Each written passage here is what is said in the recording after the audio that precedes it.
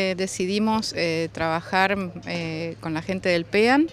con el curso de multiplicación de plantas, para hermosear un poco este espacio, que es un sector donde circula mucha gente y es bueno que se vea bien.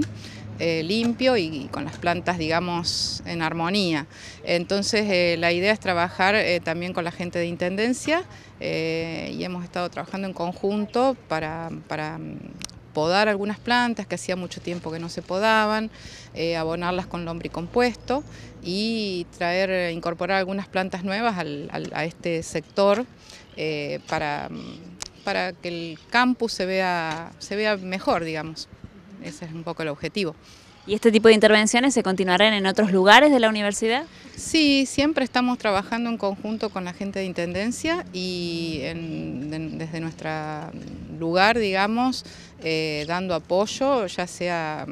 porque formamos parte de la comisión de, arbolado de, la universidad y incorporamos a la gente del PEAN porque bueno, ellos solidariamente eh, les gusta eh, involucrarse en, el trabajo en la universidad porque son parte de esta comunidad, entonces lo hacen con muchas ganas, entonces aprovechamos todas esas instancias de integrar el trabajo para que salga algo mejor.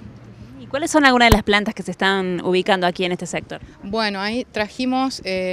para aquel lado trajimos unas coronas de novia como para continuar con, con la hilera y cerrar un espacio para que no haya tanto circulación sobre el espacio verde.